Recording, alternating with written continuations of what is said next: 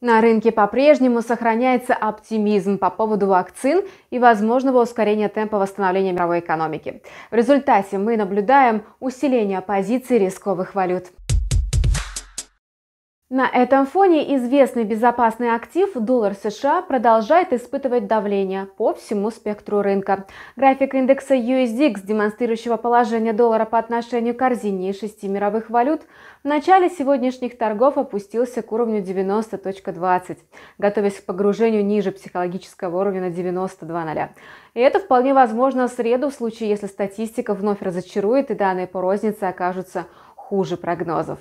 Также доллар не пользуется спросом в ожидании принятия Конгрессом законопроекта по финансовой помощи от Джо Байдена на сумму в 1 триллион 900 миллиардов долларов, который должен существенно увеличить бюджетные расходы.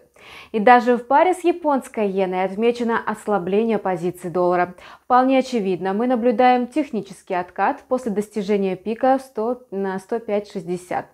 Но эксперты технического анализа не видят причин для смены тренда и предполагают возобновление роста к целевым отметкам на 106.50. Котировка австралийского доллара также активно пользуется слабостью доллара США и добралась до 34-месячного максимума, остановившись вблизи психологического уровня на 0,7820.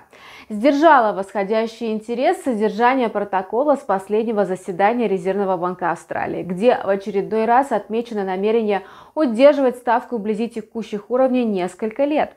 В Центробанке также отметили, что в ближайшие месяцы ожидается, что рост потребления останется положительным.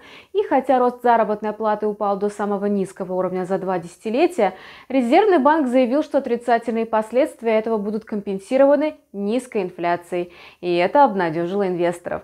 Вполне вероятно, сегодня котировка Audi USD сможет подняться еще выше, к уровню 0.7830. А на этом у нас пока все. Мы желаем вам профитных сделок и ждем вас на нашем канале с новыми видео уже через пару часов. До встречи!